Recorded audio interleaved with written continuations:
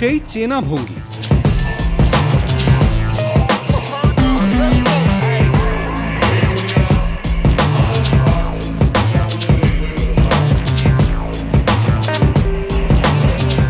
হাঁটা চলাতে সেই চেনা মেজাজ। বাংলার দুর্গাপূজা কার্নিভালে এভাবেই ধরা দিলেন তিনি। নিশ্চয়ই মাথায় আসছে একটাই নাম এবং তিনি অবশ্যই পশ্চিমবঙ্গের মুখ্যমন্ত্রী মমতা বন্দ্যোপাধ্যায়, তাহলে বলতে হয় আপনি পুরোপুরি ধোঁকা খেয়ে গেলেন। না, ইনি মুখ্যমন্ত্রী নন, বরং মুখ্যমন্ত্রীকে আদর্শ করে এগিয়ে চলা এক জনৈক ভদ্রমহিলা। শোভাযাত্রাতে সামিল হয়েছিলেন তাদেরই দুর্গোৎসব কমিটি বোসপুকুর শীতলা মন্দিরের সঙ্গে।